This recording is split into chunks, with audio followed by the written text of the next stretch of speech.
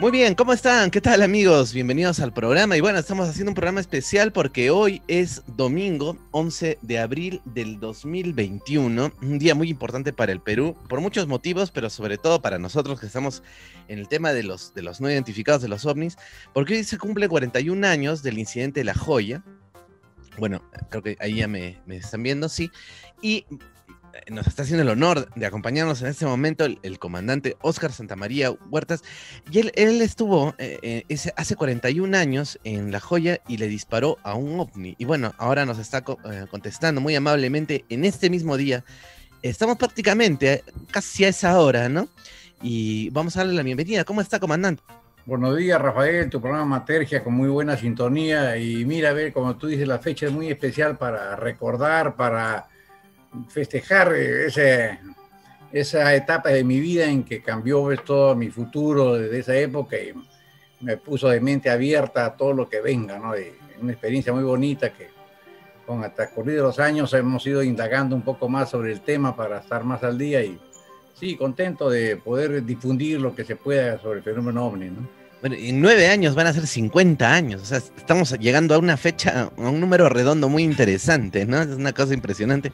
Comandante, más o menos estamos a esa hora. Digamos que son las 8, las 9 más o menos de la mañana. Estamos eh, eh, grabándolo esto temprano.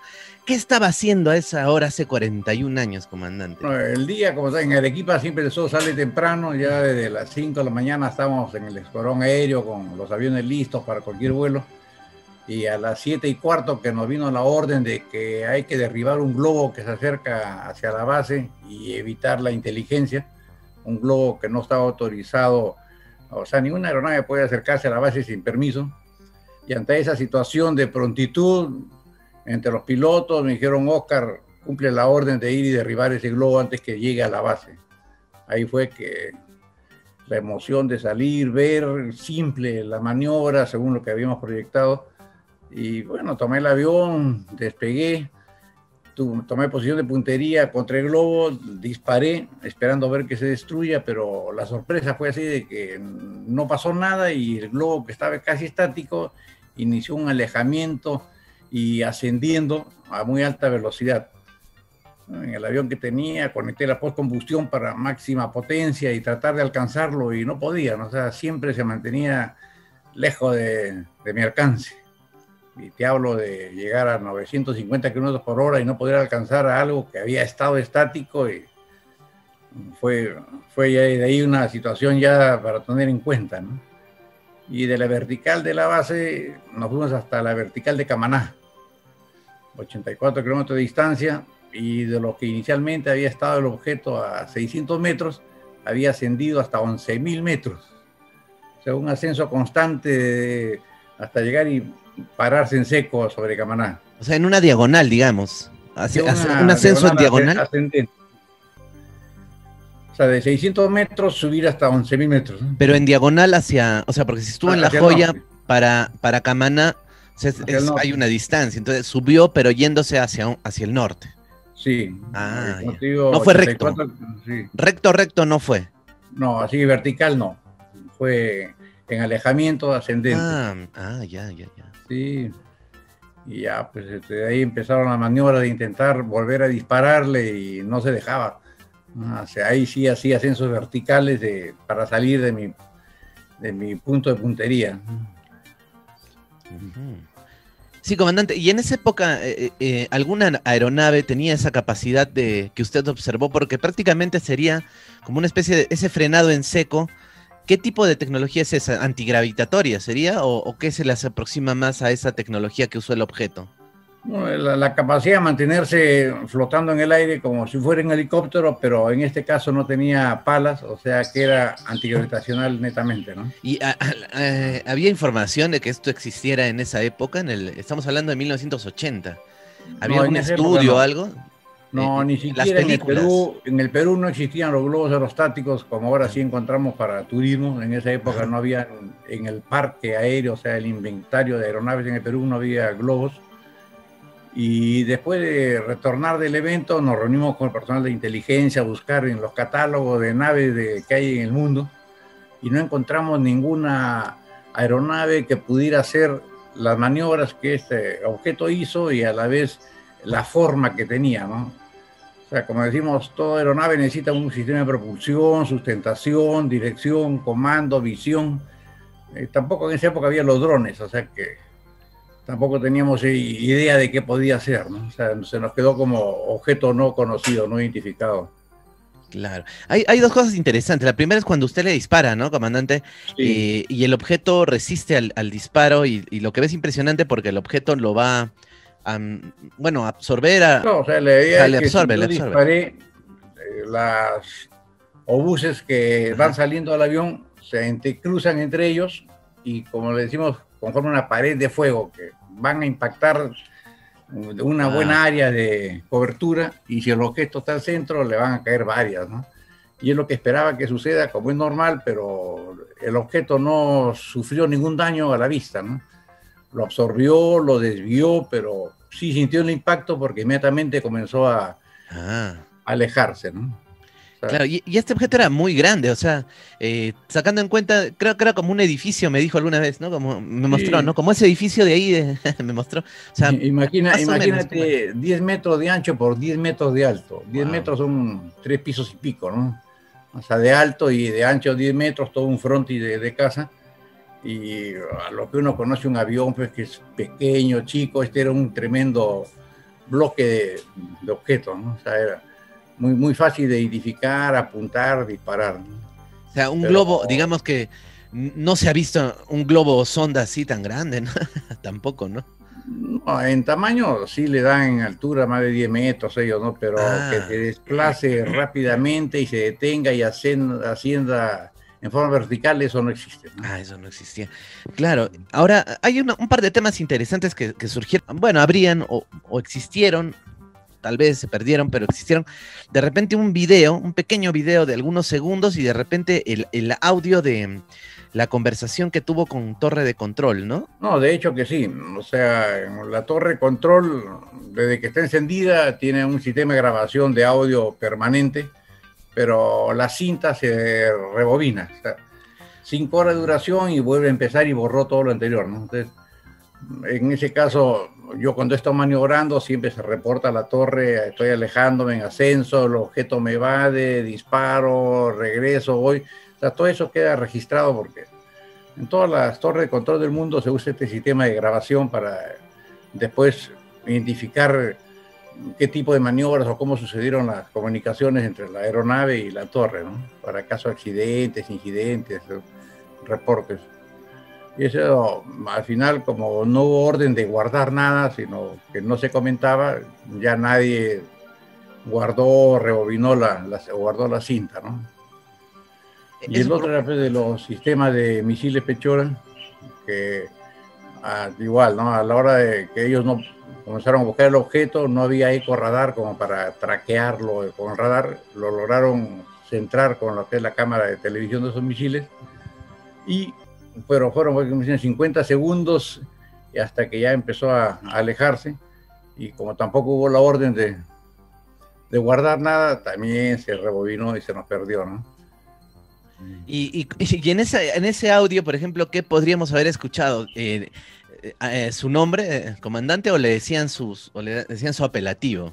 Mi apelativo en esa época, ¿no? Cianuro. Ah, cianuro. era mi apelativo de combate, entonces este, cianuro en el aire, cianuro, aleja, cianuro alejándose. O sea, ah. todo ese sistema de reportes normales y toda la secuencia del vuelo, yo la iba reportando, ¿no? Para que quede registro de lo que yo iba haciendo contra este, esta persecución, este objeto. ¿no? Cianuro, entonces, comandante. ¿Y por, qué le decían cianuro, comandante? ¿O, usted yo, escogí, ese nombre de, combate de que era alférez para siempre letal, ¿no? O sea, venenoso, letal, era mi, apelativo de combate.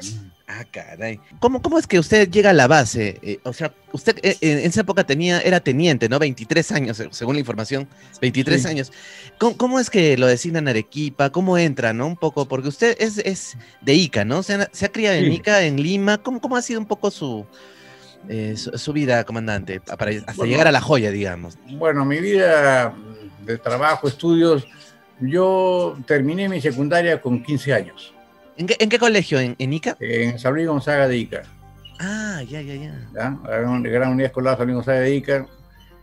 terminé con 15 años, en enero cumplí 16, en febrero de ese, de ese año 73 ingresé a la Fuerza Aérea.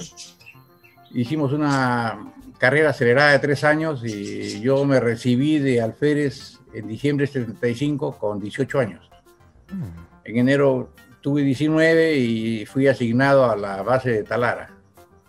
O sea, como los pilotos de casa, así como piloto de casa, transportes, helicópteros, yo ya califiqué para piloto de casa y me enviaron con un grupo de compañeros a la base de Talara. En Talara, durante dos años volamos los T-33 y al tercer año llegaron los Sukhoi y me pusieron a, igual con otro grupo de gente en la proyección de profesional a volar el Sukhoi. O sea, el 7-8 empecé a volar el Sukhoi, 7-8, 7-9, para el año 80 yo ya tenía tres años volando ese avión. Entonces, como el año 80 crearon la base de la joya con, bueno, la base de la joya la implementaron con aviones Sukhoi, nos escogieron a varios pilotos y nos mandaron a esa base a servir para tener gente operativa dentro, mientras el resto se calificaba. ¿no? Y así que en el año 80 eh, me encontró sí. así, para abril con 23 años, 3 años volando el avión. Y bueno, con toda la emoción de ser soltero todavía y arriesgarme a lo que se pueda. ¿no? Ah, muy importante. O sea, de repente si usted hubiera tenido hijos, Ah, la no. piensas un poco, la piensas un poco así. Está soltero ahí. ah, ya, ya, ya, ya. Y, o sea, usted, eh, comandante, estuvo en esa transición entonces de, de Velasco al, al, otro gobierno. Claro, o sea, cuando yo me recibí el año 75, me entregó la espada de oficial Morales Bermúdez. O sea, ya Velasco ya no estaba, ya estaba Morales Bermúdez. Ah, no, ya no estaba. Ah, ya, claro. ya.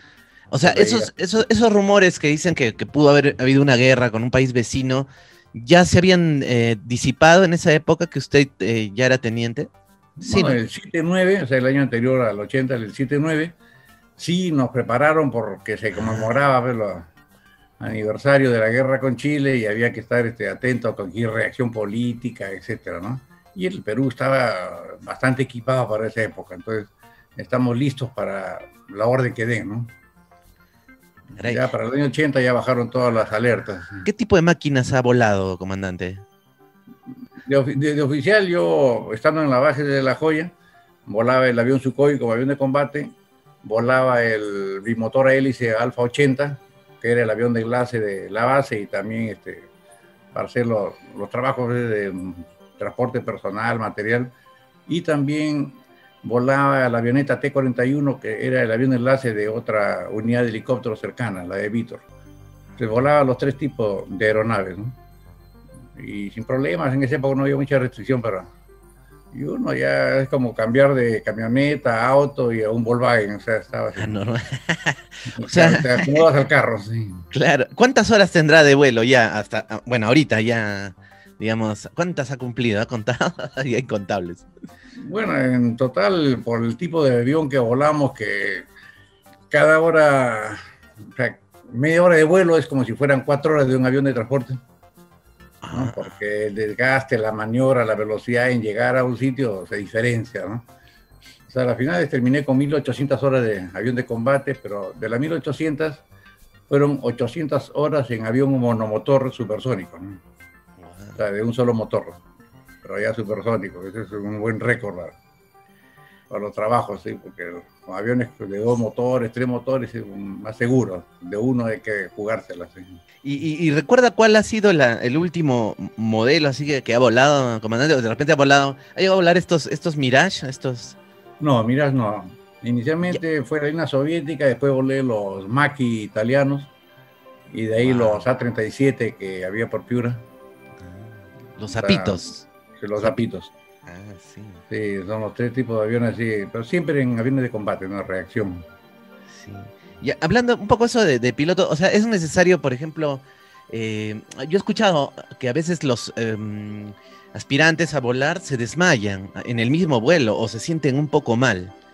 Eh, esto llega a pasar, pero a usted no le pasó nunca. Pero suele pasar, suele suceder por la fuerza. eso son, son casos raros, pero eso se ve al inicio de vuelo, ¿no? Como tu primer día que vas a volar y el, la avioneta, el avión chiquito se te mueve, entonces te da esas sensaciones que no vas a sentir aquí en la tierra, ¿no? Pero después de eso no, no va más, ¿no? Ahora, cuando uno hace las prácticas de tirabuzón, que ahí también hay gente que sale un poco mareada, pero la mente te tiene que trabajar para poder recuperar el avión y volar, ¿no? O sea, no, nunca ha habido casos así como que amerite un accidente por mareos, ¿no? Hay ah, malestares normales, sí, pero para la gente que empieza, el que ya conoce ya se ubica. E, e, eso me, interesaba saber, porque usted me mostró unas fotos y de hecho ahí están sobre que ganó, ganó unos desafíos, ¿no? De, darle al blanco. ¿Y era experto también en, en este vuelo tirabuzón, comandante, en esa época? No, se practicaba para saber mm, cómo te sientes, cómo tu cuerpo reacciona, cómo es esa sensación de caer sin control del avión y dando vueltas muy rápidas. Y se practica para aplicar la maniobra ya de recuperación de tirabuzones y salir normal, ¿no? Sí. Estas son maniobras que se hacen con un instructor para que te oriente. Después tú vas a, a practicar con ellos también. Claro, claro. ahora las prácticas de tiro, pues este, es un entrenamiento diario de nosotros, navegar, disparar, salir de frente a practicar tiros, porque los aviones lanzan balas, obuses, cohetes de diferente tamaño, bombas de muchas formas y las maniobras de vuelo rasante, encabritaje. Por ejemplo, el avión Sukhoi tenía 18 modos de disparar, de soltar bombas. Entonces había que practicar los 18 tipos de bombas. Tiene diferentes tipos de armamento, entonces había que practicar con cada tipo de armamento. No sé si has visto alguna foto de todos los tipos de, de, armas que lleva ese avión, entonces se practicaba con cada uno de ellos. Ah. Había que darle, ¿no? Y esos concursos de tiro que hacíamos entre los pilotos del escuadrón era una forma de, de exigirnos nosotros mismos en, tipo competencia. Ah, era concurso. Y era un concurso de dos, tres semanas que había que soltar la mayor cantidad de armamento en diferentes modos e ir acumulando puntajes. Y ahí. Y, lo ganaba, ¿no? comandante. Ganador, usted, ganaba, claro, eso es lo que vamos, que era muy buen, tenía muy buena puntería, comandante. O sea, más o menos como una, una técnica, ¿no? El avión es electrónico, en la pantalla te sale todo lo necesario para disparar, porque ya el avión con su computadora de vuelo ya calcula el viento, la distancia, altura, temperaturas, velocidades, ya regula y te dice dónde está el punto, ahí va a ir el armamento, la bomba, el cohete, el obús. es muy electrónico. Pero siempre pensamos, y si tengo falla eléctrica me quedo sin capacidad de disparar. Entonces en cada entrenamiento visualizaba yo dentro de la mira donde se posicionaba cada el punto para cada tipo de arma y ya casi de memoria sabía cómo era la, la ubicación y en la práctica te da, también te da de que a veces no es tan perfecta la computadora, ¿no? Entonces, oye, mira, ven, me salió 50 metros más largo esta bomba, ¿por qué? Ay, que en esta condición de mediodía y con viento cruzado y, baja temperatura, el, algo de control, así que volver a disparar el mismo tipo, y, pero de forma visual, hasta regular ya, recuperar los 50 metros de error. Entonces, ya también sabíamos ya dentro de la práctica constante de a qué hora, en qué momento tenía que poner el punto de puntería un poquito más abajo del blanco para que llegue exacto. ¿no? Sí, en demostraciones que también hacíamos en esa época, que iban congresistas, iba gente, y hacíamos los pilotos demostraciones de, de tiro, también pues, este, le dábamos completo. ¿no? Así dominábamos la técnica por la parte electrónica y por la experiencia de cómo poder disparar sin usar la mira, al cálculo. Qué, interesante lo que me dice, porque alguna vez le pregunté, comandante, ¿y por qué cree que usted sí pudo dispararle un ovni y muchas historias que, hemos visto en la ufología de pilotos que le han querido disparar, como que se les bloquea, ¿no? El, el avión, o incluso dicen, ¿no? Hay otras, ¿no? Más locas, que una que pasó en Talara, ¿no? Que se lo llevan a un piloto, al comandante Arancibia, creo, le apagan todo y se lo absorben, ¿no? y, nosotros le preguntamos, ¿usted por qué sí, usted pudo disparar? Y nos dijo porque era tenía una opción manual, pero la pregunta sería esta, o sea, ¿el OVNI le bloqueó el sistema eléctrico al Sukhoi y por eso pasó a manual o nunca le bloqueó lo eléctrico? Mm, más o menos, eh, hablamos de electrónico. O sea, en las experiencias que cuentan pilotos de otros países, era que cuando ellos iban a usar igual la computadora de tiro, todo el sistema para apuntar y disparar, a la hora que ya estaban por disparar, el sistema electrónico que gobierna el lanzamiento estaba bloqueado. En el caso de los misiles o otro tipo de armas. Yo en mi caso disparé los cañones. Los cañones son este, electromecánicos, no es electrónico. O sea, sobre eso no hay interferencia. Ah, ya, electromecánico. Eso nos facilitó el, el poder disparar sin, sin, ser bloqueado, porque, no sé cómo dice, la parte mecánica eléctrica, no, la electrónica. Ah. Y como te digo, si me hubieran bloqueado la mira, ya desde que apunté ya sabía a dónde iba la bala con la confianza, pero nunca falló la mira, o esa parte tampoco la anularon. Parece que estos objetos conocen nuestras capacidades y saben hasta qué límite llegar y escapar o anularte, ¿no? Y en este caso, imagino que le cayó de sorpresa recibir impactos. Y después, después ya no se dejó porque cada vez que yo estaba cerca al momento de disparar, hacía un ascenso súbito y evadía. ¿Se ha repetido eso en su carrera o, fue como que la experiencia de un combate más feroz la que ha tenido esa con el OVNI? No, con el OVNI más era una persecución fácil, simple. O sea, el OVNI nunca fue agresivo, se detenía en seco, permitía que yo apunte, pero cuando estaba llegando al rango de disparo, hay un rango que la mira y el telémetro láser te dan, ¿no? Porque si dispara muy lejos, la bala no llega, y si dispara muy cerca, las esquirlas del objeto pueden caerte en el avión y sales perdiendo, ¿no? Entonces hay un rango de rojo, verde, rojo. Entonces, cuando yo estaba así por llegar a un segundo de mi rango verde disparo, el objeto evadía y me dejaba en nada, ¿no? Y un segundo volando para nosotros es bastante, ¿no? Porque en un segundo ves mucho, ves un montón de cosas, maniobras, sacas, el cerebro nosotros está ahí metido para la alta velocidad, ¿no? Ah, un segundo lo cambia todo. Sí. Entonces, no, esa maniobra con el, OVNI eran fáciles, simples, solo que no se dejaba. Ya cuando hemos hecho ya otro tipo de entrenamiento de combate aéreo, ahí sí te metes con todo, pues, le sacas la, la máquina performance al avión para poder ganarle al otro. ¿no? Y hemos hecho combates, simulacro de combates entre propios aviones y aviones de otros modelos también para practicar con ellos. O sea, digamos que entonces sacamos cuentas de que el OVNI no fue agresivo, en, no, tuvo una actitud así demasiado bélica, ¿no? Simplemente... No, para, o sea, bélica en ningún momento, ¿no? O sea, inicialmente estaba detenido en el aire, disparé, escapó, y a los otros intentos esperaba mi último momento de disparo y ascendía, pero nunca, se me, nunca me enfrentaba. O sea, estaba simplemente evadiendo y jugando, ¿no?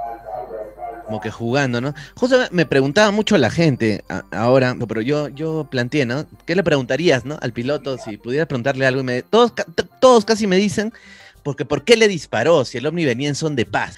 ¿no? Entonces muchos dicen, oye, pero ¿por qué no le, por qué le disparó, no? Pero también que, a ver, mejor usted explíquenos, ¿por qué le disparó, comandante? ¿Por qué no lo invitó de pronto a conversar, a sentarse, a hablar? La circunstancia del momento. La base de la joya, el año 80 estamos implementando, así como había aviones Sukhoi nuevos, también de un sistema de defensa aérea, ¿no? misiles, radares, ya mejorando los que teníamos. Y por norma está establecido en todas las cartas de vuelo de que ninguna aeronave civil o militar puede ingresar al área de restricción 25 millas en cualquiera de la 360 grados de la base sin permiso de vuelo de la base. Y este objeto se había acercado, ¿no? había ingresado dentro de las 25 millas sin tener conocimiento. Y cuando a la torre llamaba por todas las frecuencias para ubicarlo, no había respuesta. Entonces se dijo, mira, este es un, un aeronave que viene a hacer inteligencia sobre nosotros. ¿no? Viene a filmar, tomar fotos y va a ver lo que tenemos, lo que estamos desplazando Así que la orden fue inmediata, ¿no? Y que ese aeronave, ese globo no llegue a la base. Y así como yo salí en el avión, también la gente en la base alertó los misiles, los cañones, los, todo lo que había para evitar que ese, esa nave llegue a la vertical de, la base aérea. Entonces, la orden es normal de protección que tenemos, los protocolos de invasión sobre un área restringida. Claro, un poco ilógico también es eh, pensar que lo van a, le van a, o no sé, le van a, haciendo una broma, ¿no? Lo van a invitar pues ahí a almorzar, al espía, ¿no? O sea, si alguien ya invade una, una base aérea, se tiene que atener a las consecuencias, ¿no? Cualquiera lo sabe, ¿no? Igual pasaría si alguien invade algo en Chile, en Estados Unidos, peor todavía, ¿no? Se activarán misiles y todo, ¿no? No, sí, hay precauciones. Por ejemplo, me acuerdo del año 84, o sea, de un, una avioneta fumigadora que iba desde Ecuador hasta Chile, venía desde, creo, Estados Unidos hacia Chile, tuvo problemas e ingresó al área restringida y igual, ¿no? Salimos en el avión y lo interceptamos y lo hicimos descender ahí en, en Moyendo. porque había pista de aterrizaje, ahí sí, visual, señales, no había necesidad que disparar, ¿no? O sea, sí respondió y sí nos identificamos. Ah, por ejemplo, ahí no, no, lo, no le dispararon, sino lo pues acompañaron. No, porque había respuesta, comunicación, ah. comentó que tenía problemas mecánicos, entonces dijimos, que restringida, lo más, más cercano que tienes acá es la van moviendo, aterriza por ahí, ¿no? Ah. O sea, hay protocolos entonces. Sí, hay protocolos. no, no, es que se le dispara por gusto, sino porque ya no responde ante un protocolo y podría ser peligroso también para Claro, y sigue avanzando. Y decimos, tiene un globo, ¿por qué no desciende sobre el sitio? ¿no? Porque intenta venir, es como ahora la gente en Estados Unidos que quiere ingresar al área 51 le van a dar, pero pues, no, está prohibido. claro. Por más que quiera, eh, no, tienes que guardar y cumplir los protocolos, los propios de la base. Y, y comandante, yo me pregunto, ahorita no me han venido este, ¿y qué pasaba si de pronto si era un ovni y todo y le disparaba y el ovni, imagínese que hubiera sufrido un desperfecto y caía en la base? ¿Qué hubiera pasado? O sea, ¿hay protocolo para eso? Se le recuperaba, lo, lo tenían ahí, lo guardaban.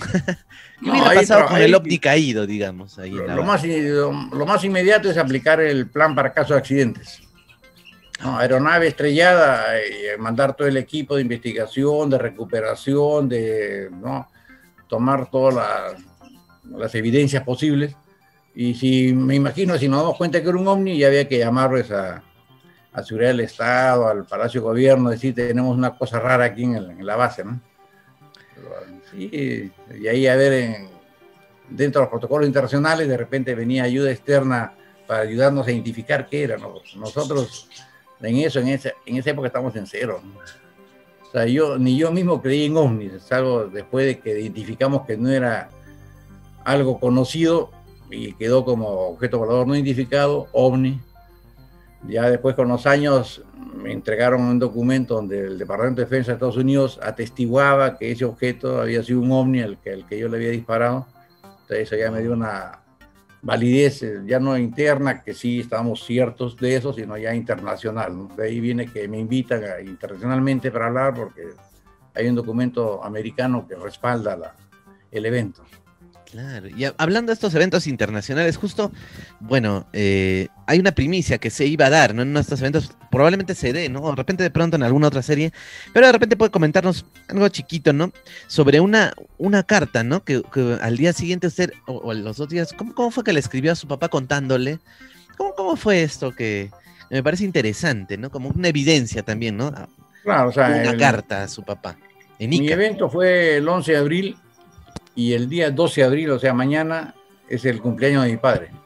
Ya fallecido, ¿no? Pero de comer su cumpleaños había que escribir una carta de saludo de cumpleaños y aproveché para, para comentarle de que en mi vida de piloto me había sucedido algo que nunca esperaba y le narré, pero con ciertos arreglos para no vender inteligencia, porque estamos prohibidos de comentar militarmente todo lo que había, ¿no? Pero sí, le dije, tuve que perseguir, dispararle a un ovni, cosa que nunca pensé estarme involucrado en esto. Y esa carta, sí, después de muchos años, mi madre me dice, Oscar, mira, hace 25 años, 30 años, tú escribiste esta carta, yo ni me acordaba, Me dice, mírala, wow, le digo, ahí está, pues con todo el detalle. Entonces es una, una carta que la tengo ahí guardada como evidencia de que algo había pasado, pero... ¿Qué, decía, si nos repite? ¿Le disparé a un ovni, papá? ¿Así decía? Sí, aparte de saber por el cumpleaños, le dije, mira, ve, te cuento que me ha ocurrido algo de que nunca pensé en mi vida de piloto tener, y es haber perseguido dispararle a un ovni, ¿no? Y más o menos tal ayer, las ¿no? de ayer 11 de abril, temprano apareció, salí, disparé, no lo perseguí, nada, y mira, ¿no? punto, ¿no? O sea, más o menos escueto, ¿no? Porque también de pocas palabras. ¿Qué habrá dicho su papá cuando leyó eso? Después le comentó, ¿comentaron esto? Sí, comentamos algo de eso, porque ya comenzamos por teléfono a conversar y en mi familia también, mis hermanos, los primos, oye, yo he visto, yo he tenido, ya se abrió la, el tema, ¿no? Libre. Bueno, muchos nos preguntamos, ¿no? ¿Qué será del OVNI, no? ¿Dónde estará en Ganímide? ¿Dónde está hoy día, no? En el área 51, en Ganímide, ¿en qué planeta? ¿En qué, en qué tiempo? De repente sería en el tiempo. Pero lo que pocos nos sabemos es también dónde está el avión, ¿no? Ese mítico, yo, yo proponía, ¿no? Que deberías estar en un museo, ¿no? Suzuki, el, un aparato que le dispara, pues, a, un, a una fuerza exógena deberían tenerlo en algún museo. De repente la FAP tiene museos de algunos aviones, ¿no? Debería estar ahí. ¿Dónde, dónde está ahora el Sukhoi? Eh, comandante, ¿sabe algo? ¿Se sabe? Ni idea, porque, o sea, los pilotos de combate no somos tan... Románticos, es decir, no se encariñan con sus... Románticos, tan... sin publicidad, ¿no? Y de lo que ocurrió, ocurrió y le puede ocurrir a cualquier número de avión y guardar un avión por algo tampoco, ¿no? O sea, pero, pero ¿qué les pasa a esos aviones? O sea, los reciclan, los descartan, los queman, no sé, o sea, van a un cementerio. Se venden por piezas, ¿no? Ah, se, des, eh, se, desmantelan. que termina su tiempo útil, ya no sirve y guardarlos tampoco, entonces comienzas a... A los reutilizan, digamos. Comienzan a canibalizarlo y a deshacerte de ellos. ¿no? Algunos te compran los repuestos, otros ya los lo funden, ¿no? Sí, sí, esa, es una idea que justamente me parece interesante, ¿no? Claro, porque por ejemplo en Arequipa tenemos un par de, hay un parque, ¿no? Donde hay un avión, no me acuerdo qué, sí, el parque del avión le decimos acá, en la misma base creo que hay eh, no, no base, en el ala. Eh, no, sí, en varios, en varias bases se usa el modelo de avión que alguna vez tuvo la, la base. claro, y lo dejan. se colocan como. ¿En, Lima hay un Sukhoi? ¿En Lima hay algún parquecito con un Sukhoi? Sí, creo, ¿no? Sí, hay uno entre el aeropuerto Jorge Chávez y el, grupo aéreo número 8 hay un parque temático de aviones, ahí hay un Sukhoi. Después hay otro, tema, otro parque temático de aviones cerca a la, a la base aérea Las Palmas. Ah, claro, ahí, ahí. Tres cuadras detrás de Macro, ahí atrás hay un parque ahí grande, tiene un montón de modelos de aeronaves de la Fuerza Aérea que ya no están en uso, ¿no? Claro, ahí te cobran un par de botellas de plástico para reciclar, dejas y te dejan pasar. Sí, yo, estuve por ahí. Me, me, faltó una botella, por eso no pude entrar. le dije, solo tengo una botella, no voy a ir a comprar para, para botarla. No, no, señor, por favor, tiene que traer su botellita de plástico para dejar y ayudar al medio ambiente. Sí, pero ahorita no. Bueno, sí me dejó entrar al final un ratito, ¿no? Claro, pero interesante, bien interesante ese parque. No, y, le quería preguntar, comandante, hace poco yo estuve por ahí, ¿no? Y en realidad conversaba durante muchos años con muchos amigos, ¿no? Incluso eh, me comentaban algunas personas que han servido en la base en esos años y que no estuvieron ese día pero que estuvieron días posteriores al evento y decían, oye, yo he escuchado, ¿no? De que aquí ha habido un ovni, de que se han metido los ovnis. Incluso hay otro, hay, bueno, ahorita lo, comentamos un poco, pero, eh, o sea, sí existió ese rumor, ¿no? Pese a que no se publicó la noticia, ¿no? Pero quedó un rumor dando vueltas por ahí en Arequipa, ¿no? En la misma los pilotos, incluso usted me cuenta, ¿no? Su familia ya sabía, se comentaba. O sea, un rumor no muy extendido, pero rumor hubo, ¿no?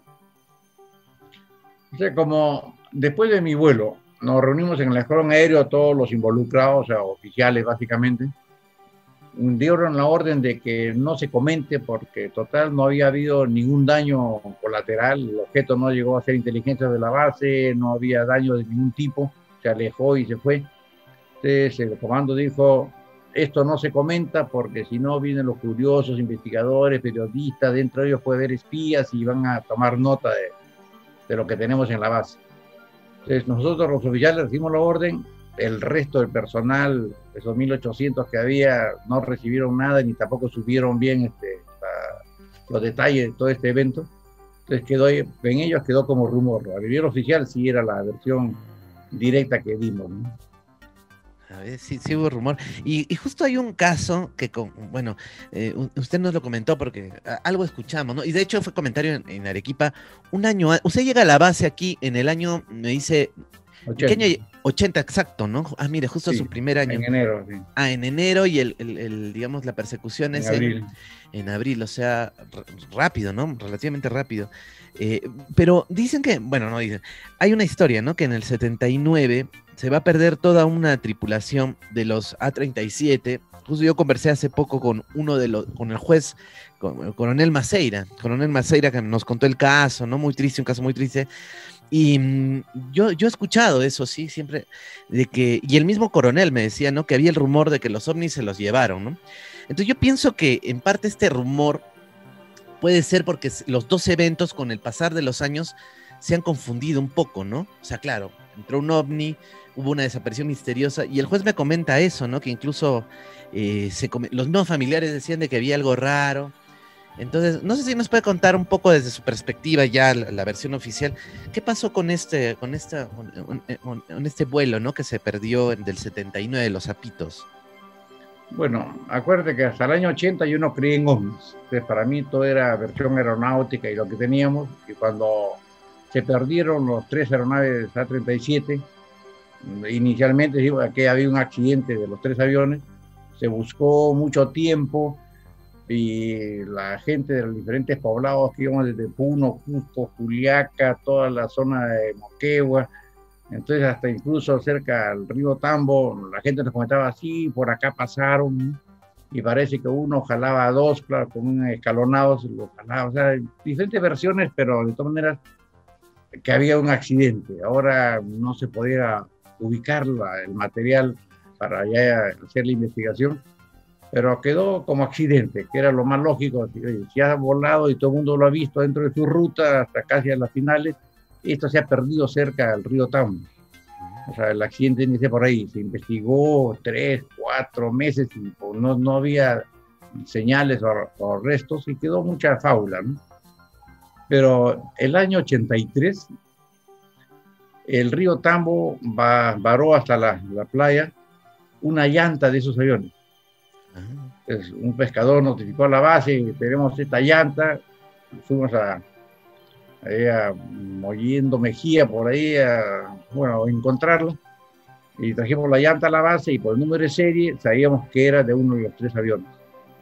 Les digo, mira, ven, si han venido en vuelo rasante del sur al norte, se han encontrado con esta pared que son un montón de metros en vertical que tiene esos cerros y ahí deben estar, por eso con los relaves y las lluvias ha ido botando y esa llanta ya llegó hasta la playa.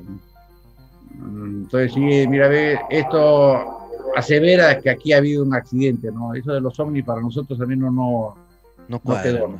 Claro, no Pero, y podría ser que el otro día conversamos con un investigador español y él nos decía de que han existido varios accidentes, y de hecho en la casuística ovni han habido muchos pilotos que por enfrentarse a un, ovni han sufrido accidentes también. Eh, y esto le, pudo haber pasado a usted también, comandante, en, de repente al tratar de ir a la estratosfera, como nos ha contado, su avión pudo fallar y, sufrió un accidente también, ¿no? Entonces, ah, e, e, es, probable, ¿no? Que al no estar preparado para, para enfrentar algo que no se sabe, pueda el piloto tener algún problema, ¿no? Eso sí podría darse. No sé si en este caso, pero podría darse, ¿no? O sea, desde que eres un piloto de combate te preparan para cualquier tipo de accidente y si vuelas un avión de un solo motor que no tiene mayor este, recurso, te preparan para cualquier evento, ¿no? O sea, y hay formas de evadir, escapar, eyectarse. Felizmente, el avión de combate tiene asiento de eyección para salvaguardar la vida del piloto, ¿no? Entonces, ante lo que pudiera haber ocurrido, no, no había mayor este, problema sino aplicar el escape de emergencia. Que incluso cuando yo, me, yo retornaba, ya por falta de combustible, retornaba hacia la base y había dejado el ovni atrás mío, dije, si este viene a acercarse y quiere atacarme con poco combustible, haré un par de maniobras evasivas y si ya me quedo sin gasolina o me, estoy impactado, me eyecto, ¿no? El avión se va y yo me, yo me salvo, ¿no? Es la política que tenemos los pilotos. El piloto es una, es más difícil que reemplazar que un avión que vas y lo compras.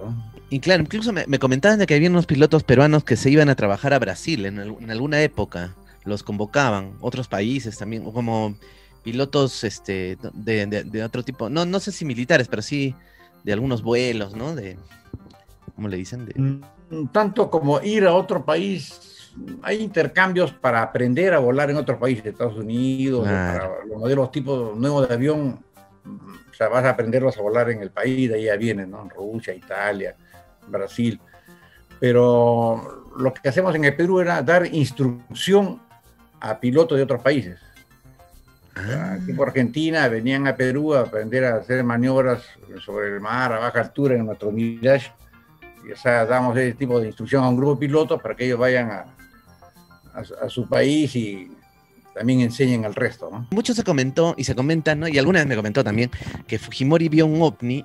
Ah, también hay, hay otra historia de un ovni que se vio en la selva, es el caso del comandante Arancibia, este, ¿hasta, qué, ¿Hasta qué punto es este, cierta esta información de que Fujimori, pues, este, sí, pues tuvo esa experiencia en la selva? ¿Usted la ha escuchado? ¿Cómo, cómo ha sido esto? El año 2001, o sea, en diciembre, o sea, que no es un mes normal, porque tú te organizas eh, de enero a diciembre, pero en diciembre disponen la creación de la Oficina de Investigación de Fenómenos Aéreos Anómalos.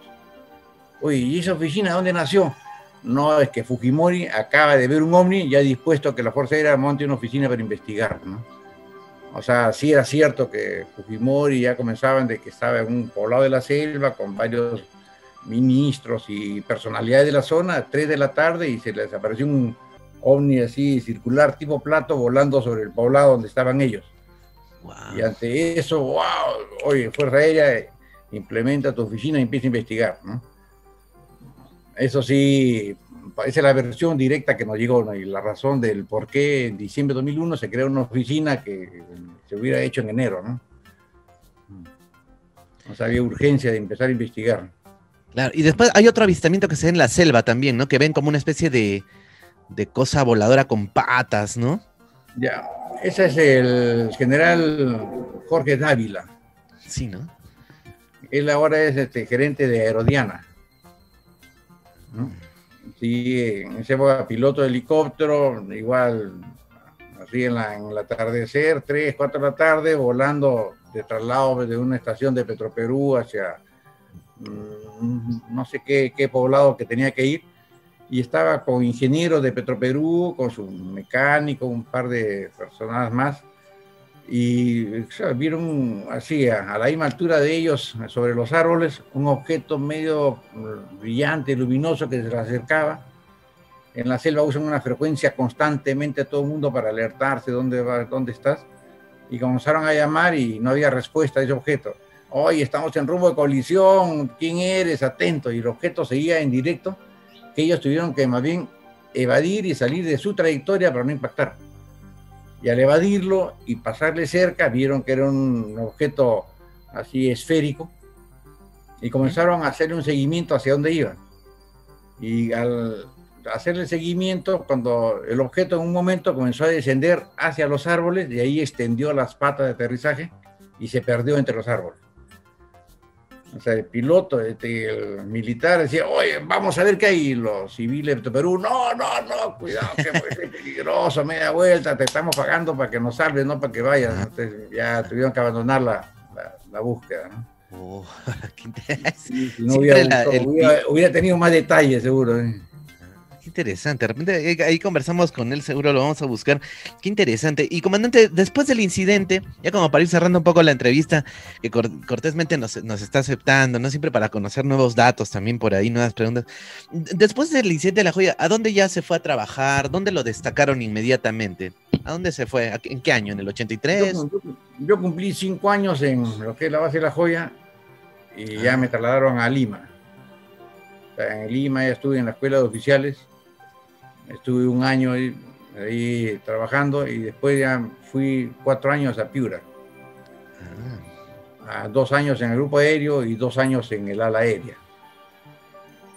Ya el año 90 ya regresé a Lima para curso de Estado Mayor y de ahí regresé a la escuela oficiales como jefe del departamento académico por dos años y de ahí ya me fui a, o sea, nombramientos que me pusieron, ¿no? De estar en el culto mayor. De teniente pasó a, porque ahora es comandante, ¿no? Sí, ascendí a capitán estando en La Joya, de capitán fui a Lima, capitán fui a Piura y de ahí ascendí a mayor. De mayor vine a Lima para el curso de Estado Mayor, un año, de ahí dos años en la escuela oficial como jefe de departamento académico. Y para el año 93 me nombraron subdirector de la Dirección de Prevención e Investigación de Accidentes Aéreos. Ah. yo el año 80 también me califiqué como oficial de sobrevuelos y prevención de accidentes. Es una especialidad que he ido desarrollando en estos años también, investigando o previniendo accidentes. Y ahí estuve en la, en la, como subdirector de prevención de accidentes durante cuatro años. De ahí pasé a la inspectoría de, de la Fuerza Aérea para trabajar en lo que era meteorología, prevención de accidentes y apoyo de, operaciones. Eso fue hasta el año 97 en que ya me retiré por asuntos personales. Mm, o sea que un importante, un importante puesto como para poder sensibilizar a otros pilotos de lo que puede ocurrir, prevenir accidentes, ¿no? Como usted bien dice. Y alguna vez habrá comentado ahí su experiencia, ¿no? O sea, y, yo me imagino, ¿qué, ¿qué, le puede recomendar, ¿no? A esos pilotos que se ven con, con un ovni de la nada, ¿cómo, cómo uno debe actuar? ¿Qué, ¿Qué, le recomendaría a usted, ¿no? Que, que usted sí ha pasado por esa experiencia. Lo que yo conociendo en estos 40 años, los ovnis son pacíficos. Entonces, si vas, a, acércate, síguelo, no te va a atacar, porque no necesita atacarte, él hace lo que quiera contigo, ¿no? Y atacarte lo que menos, menos va a hacer. Entonces ahí, a nivel piloto, Fuerza Aérea, ya sabían quién era yo, ¿no? Y yo salí de la Fuerza Aérea y estuve trabajando para compañías aéreas civiles en esa área de ciudad de vuelos que no había en mucho. Y también instruyendo tripulaciones de pilotos, hostes, mantenimiento, despacho, plataforma, en todo lo que era prevención de accidentes, de vuelos, factores humanos, que es mi especialidad de instructor en tierra. ¿no? Eso sigo ejerciendo hasta ahora. Hasta ahora, 2000 21 sigo dando clases sobre esto, ¿no? Ah, ya está retirado, comandante, pero digamos, sigue todavía, puede continuar su carrera profesional todavía, está continuando la de hecho. En tierra de, de, tripulación, de personal de aeropuerto, sí sigo, ¿no? hay, no, hay, problema, hay, bastante conocimiento sobre esto, ¿no? Ah, ya, ya, ya. Y, desde el año, del año 98 hasta ahora sigo trabajando para, dentro del ámbito de la aeronáutica civil. Ah, ¿Y, le habrá llegado este comentario de los ovnis del Jorge Chávez? Sí, en febrero del año pasado. Por los fueros este, oficiales, así. ¿Y qué, más o menos sabe algo de lo que de lo que se pudo haber tratado? ¿Siempre fueron ovnis o se manejó otra versión de lo que escuchó por ahí? siempre ha sido ovnis. Uh. Sí, por el tamaño, la permanencia, la altura. Drones no duran tanto tiempo en el aire y que lo vean las aeronaves ¿no? de LAN, creo que entraba, de Copa o sea, hay filmación, video, duración, tamaño, no hay drones en el Perú de ese tamaño, ¿no? Sí, es un ovni directo. ¿Usted cree que esto pudo haber vuelto a ocurrir? Porque yo conversado hace poco una feria del aire, ¿no? Aquí en Arequipa y me acerqué.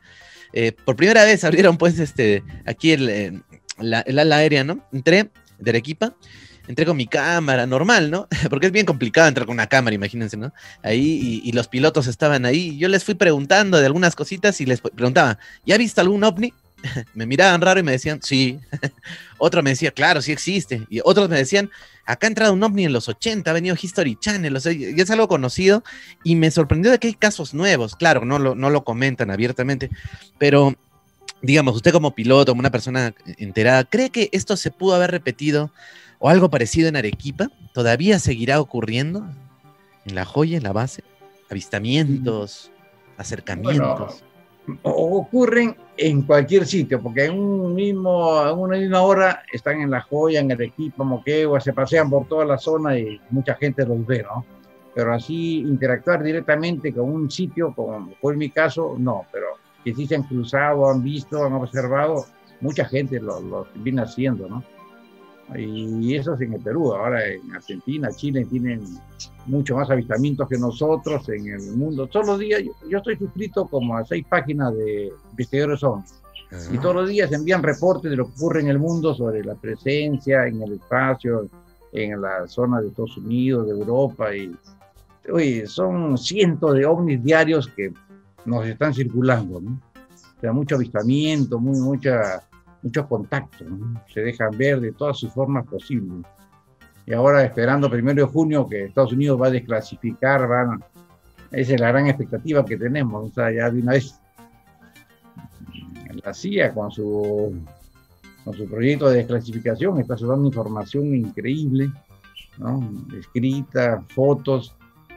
Ya he escuchado hablar a senadores americanos que hablan de la expectativa de este primero de junio de lo que van a soltar al mundo, sobre todo dicen, el americano que paga los impuestos del Estado quiere saber qué hay, de esa forma han ganado la que aperturen.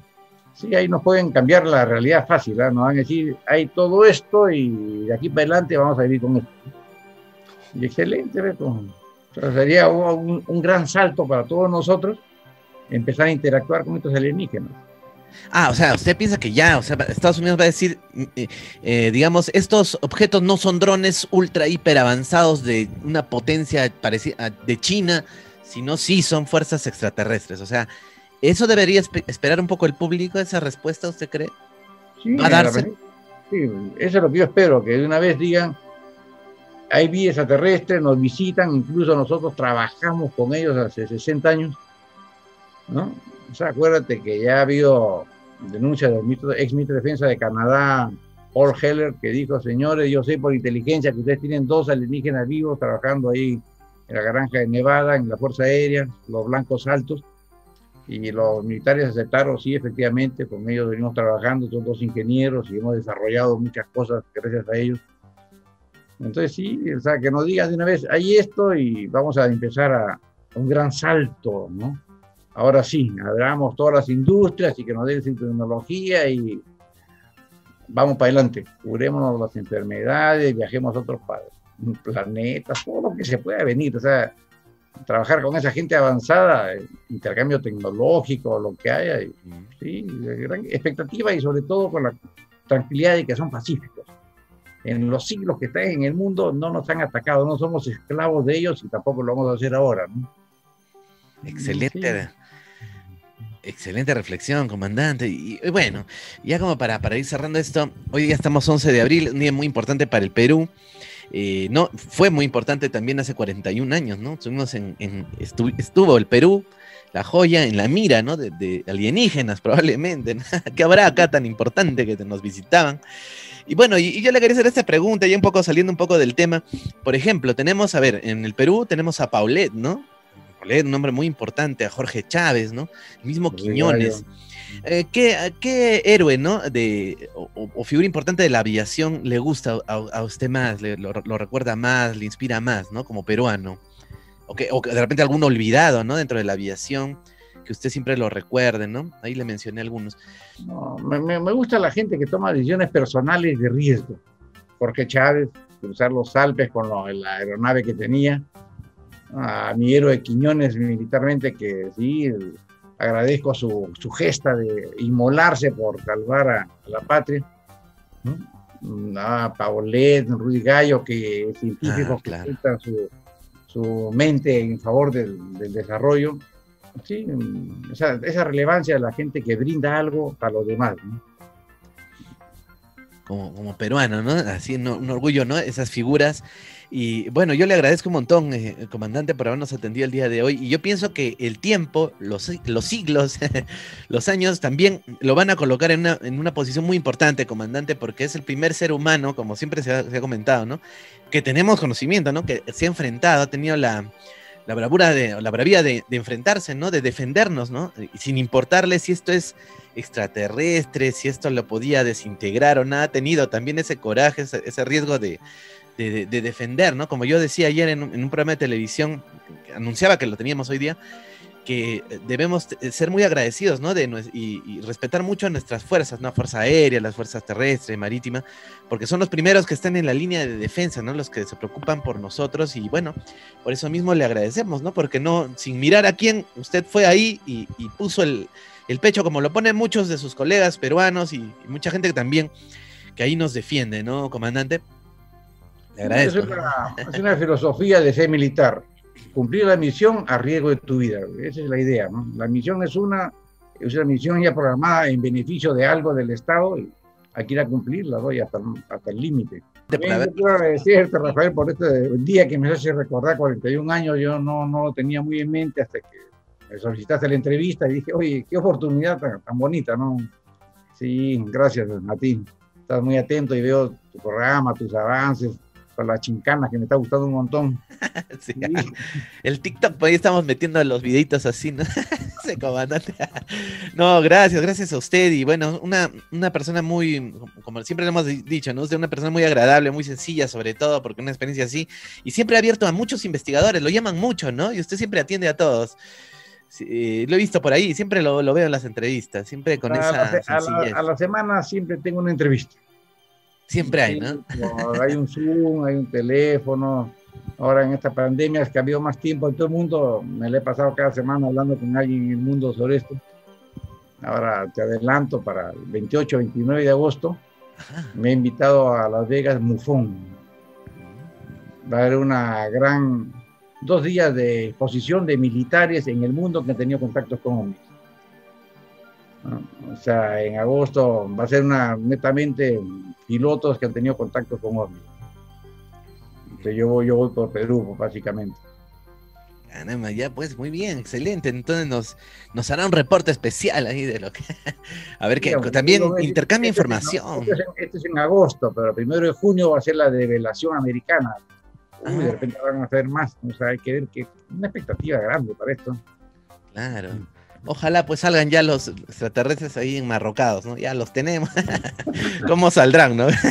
¿O qué, qué, sorpresa pues nos darán? Bueno, comandante, yo le agradezco. Y no sé si nos puede mandar un, cordial saludo, porque mire, esto lo vamos a televisar, no toda la entrevista, pero lo vamos a televisar por eh, Arequipa, por el canal de Arequipa que sale a nivel nacional. De repente nos puede saludar, por favor, al Magazine, ¿no? A Nuevo Día Magazine. Este, para, no sé qué un saludito, pues así. Bueno, estimado Rafael, te felicito por tu conducción de este nuevo programa Nuevo Día Magazine, así como Materia, tienes un gran interés que lo demuestras, das tus esfuerzos para que la gente conozca todo lo relacionado a este fenómeno ovni y las cosas este, raras que vemos en, en, nuestra vida diaria, ¿no? ¿no? Muchos éxitos y a todos tus seguidores mi reconocimiento por apreciar tu magnífica labor y me gusta mucho ver el interés y cómo la gente aprecia tu trabajo. Estás muy bien encaminado y un fuerte abrazo para, para ti y para todos tus seguidores.